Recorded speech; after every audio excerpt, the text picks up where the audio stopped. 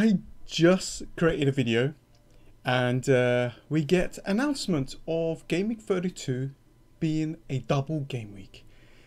Okay, well, let's go through this again. Um, but please don't forget to check my latest video on my team selection for Game Week 30.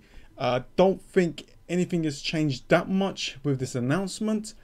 But anyways, please check that out. But I'm going to post this um, like today as fast as I can uh, for you guys to get the information.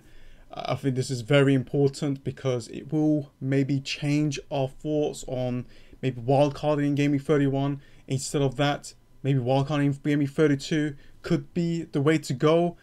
I don't know right now. But anyways, if you're new to the channel, subscribe and always, always drop a like on the video as it helps my channel out a lot. Let's go through it. So as you can see, Game Week 30 fixtures, nothing has changed. Uh, if I move to Gaming 31, nothing has changed there as well. But for Game Week 32, if you saw on my previous video, it was quite empty.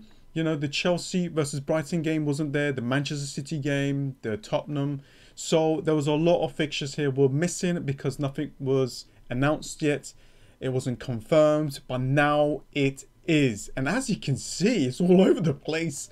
There's a game on a Friday, Saturday, Sunday, Monday, Tuesday, Wednesday, Thursday. Okay, that's interesting. And the big announcement is that Spurs will have two fixtures in game week 32. But by the looks of this, it looks like only Spurs has a double. So they have a home fixture against Southampton and an away fixture against Everton. You know, we're still waiting for Everton, uh, Aston Villa, Southampton, and I think they're playing against Crystal Palace. Um, that postponement fixtures are they're still yet to be confirmed. And now that this has been confirmed, I think we'll have to wait a little bit more longer for those fixtures to be confirmed down the line. So this is a very, very important because a lot of people are removing um, Tottenham players and maybe holding them for a little bit more longer could help out. Now, I got a, I got a plan. I, I need to go and I need to plan. So I thought I'll share this with you guys. And obviously, if we look at game week 33, these are the confirmed fixtures. As you can see, Manchester City is not there. Tottenham is not there. So you know, we got if we get in a lot of Tottenham players in game week 32, then you know we'll be stuck with them in game week 33, and they blank in. That's going to cause a lot of issues. And if we have a couple of Manchester City players as well, then we need our bench to kind of help us out. Oh boy! Oh, you know what? I'm actually really excited. Um, the wild card that I have is going to definitely help. I think you can still navigate through this without using the wild card. But I think people with the wild card might have an advantage. Hmm. I'm thinking right straight away. First thoughts. I'm thinking Lloris in goal and get a goalkeeper that I can rotate with in game week 30. So let me just have a look. So this is yeah, this is 30. This is 33. What goalkeeper would I want? I mean Mendy, right? Okay. Then maybe I can get Lloris here. Hmm. Or maybe maybe one of the Tottenham defenders. Okay. Bale and Son. Okay, okay, this is this is interesting. I like it. I like it a lot. And this fixture here, um, Chelsea versus Brighton, and this is after the Champions League games as well. Yeah, it is. So this is after the Champions League games. So yeah, I think that's good. Then there might not be that many rotation I think, okay, I might need to think about wildcarding in Game Week 32, to be honest. And maybe like set my team up so it's okay for the blank as well and good for Game Week 34. You know, if I still go for Chelsea assets and Kevin De Bruyne, maybe I can keep my Everton players. Mm, actually, let me just have a quick look. Everton against Arsenal. Okay, that's not looking good. Anyways, uh, there's just so much to go through. Um, right now, I'm not going to make any kind of transfers.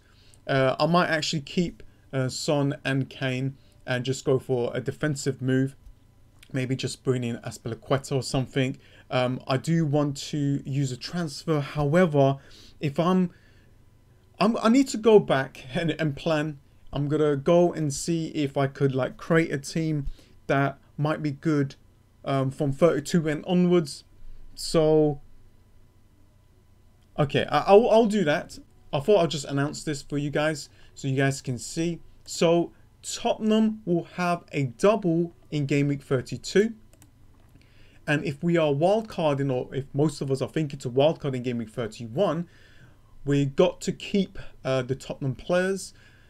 Then I guess if I do wildcard in game week 31, I keep um, Kane and Lloris. I think that'd be okay. I think game week 31 still is a good option. Hmm.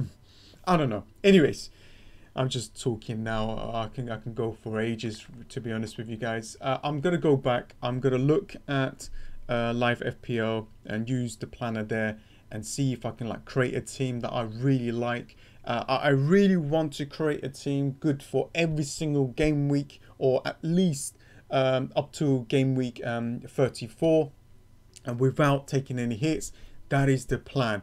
Anyways guys i hope that you guys enjoyed this. Uh, this was my like first thoughts um, and first ideas and what i'm thinking. And you know what? I love this kind of stuff and i cannot wait to kind of navigate through and try and finding my own way. I'm not going to look at twitter. I'm not going to look at any other youtube videos or nothing. I'm just gonna just i'm gonna just do this right now Do it right now. Anyways, guys, thanks for watching. I hope this video has helped you. Please, please, please watch my team selection video.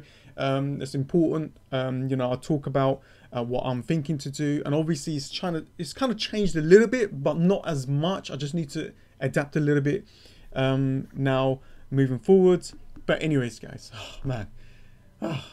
Anyways, thanks for watching, and I'll see you guys next time. See ya.